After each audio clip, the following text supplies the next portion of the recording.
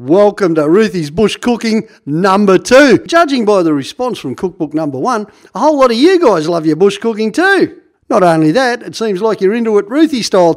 Well, what is the Roothy style? Well, you know what? At the end of the day, it's just all about keeping it really simple and using some really strong flavours. So you can kind of pretty much duck into the corner store, buy all sorts of stuff and chuck it in the pot, and it ain't that hard. What's in the number two cookbook? Well, like it says on the cover, there's a bucket full of easy but awesome recipes loaded with fun and flavour. And you know what? There's a whole bunch of different techniques in here too. You know what? I put a lot of effort into this well, let's just say I put a lot of effort into eating and sitting around fires over the years. I've put quite a few yarns in there. A lot of people said they really like some of the old yarns in, in cookbook number one. Guess what? You got a whole heap more in cookbook number two.